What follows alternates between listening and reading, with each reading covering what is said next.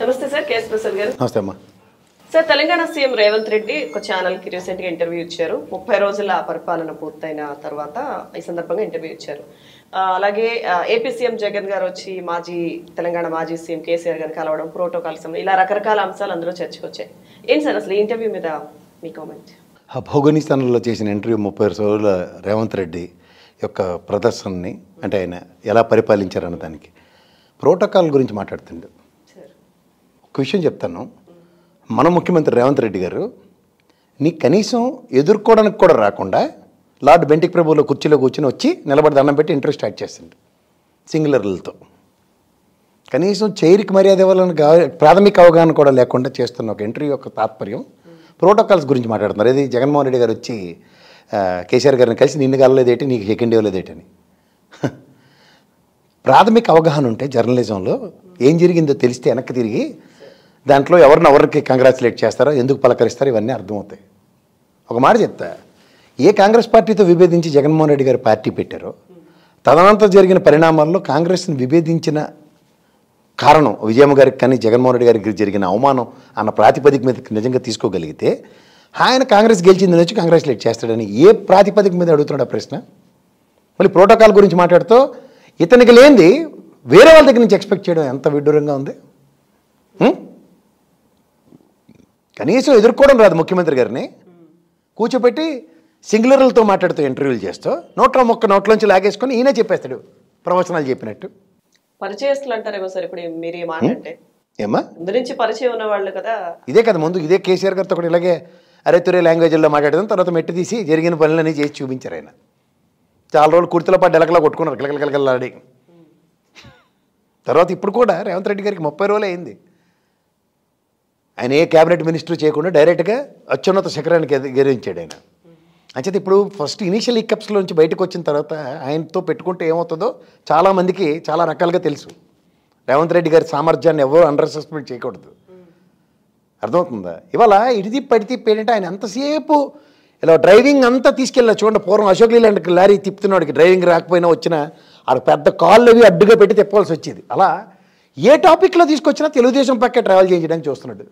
ఈయన ఒక జాతీయ పార్టీ అధ్యక్షుడు.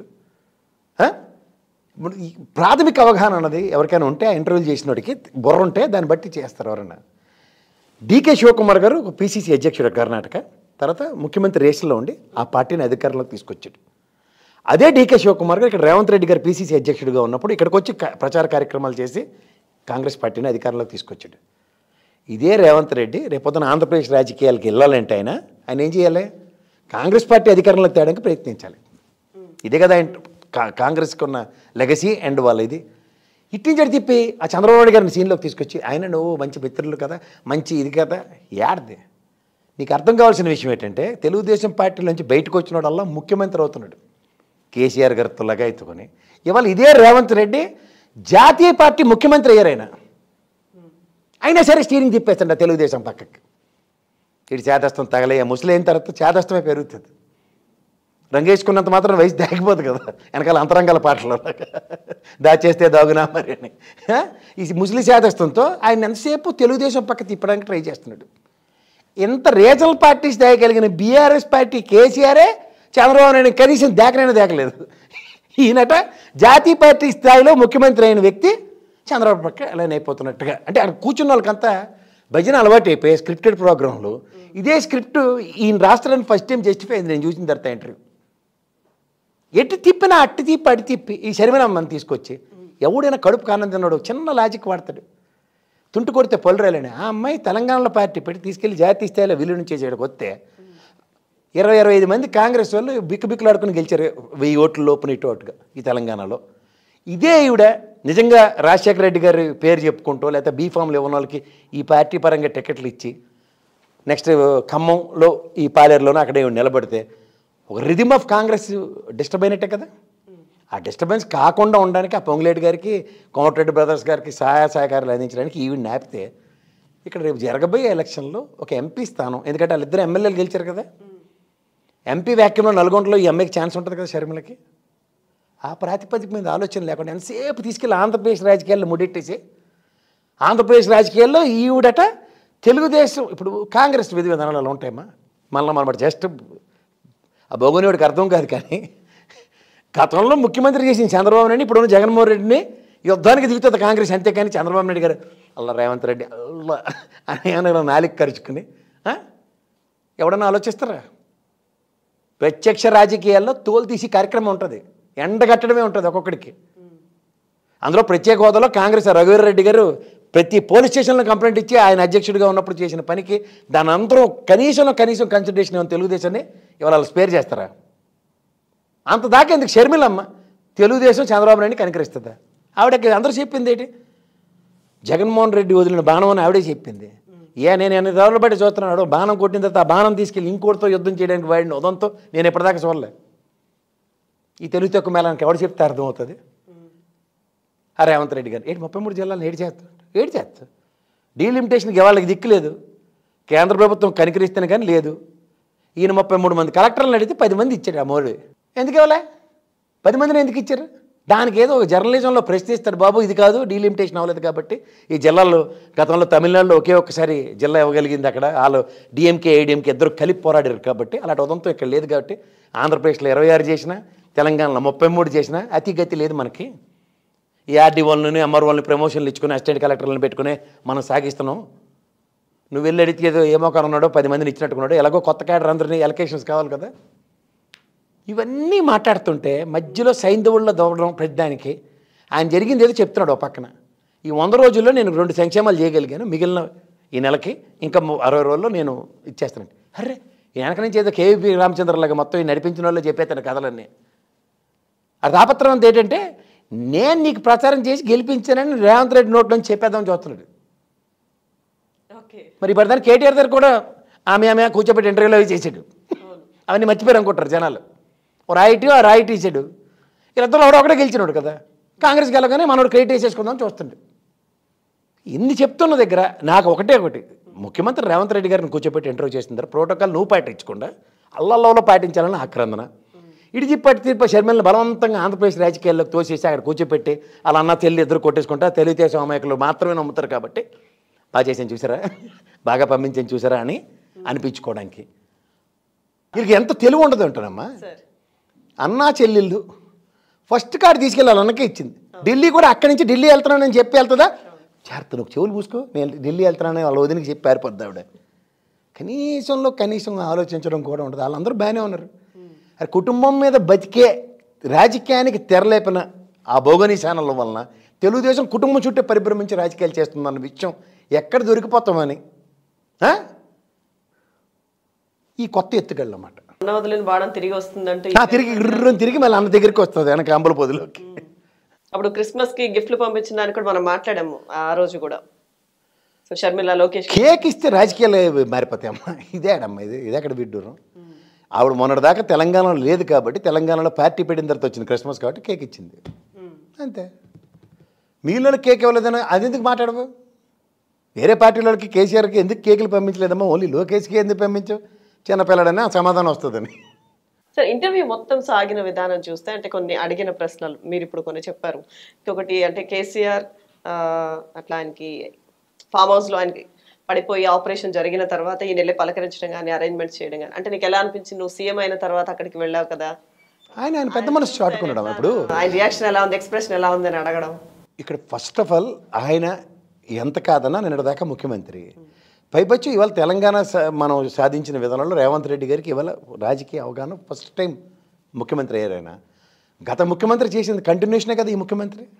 రా తెలంగాణలో గౌరవ మర్యాదలు ఇచ్చిపుచ్చుకోవడం ప్రోటోకాల్ పాటించడం చాలా ఎక్కువ ఉంటాయి. పెద్దవాళ్ళకి కాళ్ళకి దండం పెట్టడం కానీ.